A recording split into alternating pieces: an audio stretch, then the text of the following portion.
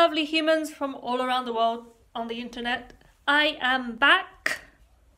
As some of you might have known, I have moved quite recently, well, not that recently, but still recent, to Portugal, and I still don't speak a word of Portuguese because I suck. And because I'm lazy as well. But that's not the point.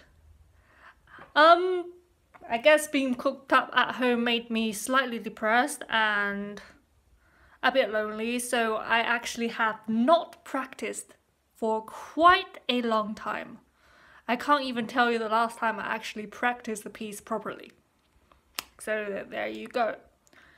But yeah, um, recently some stuff happened and I decided to start playing the violin again and hopefully go back to school to do another course. And I would like to keep this channel going, so I would like to ask you guys to tell me what I should post next.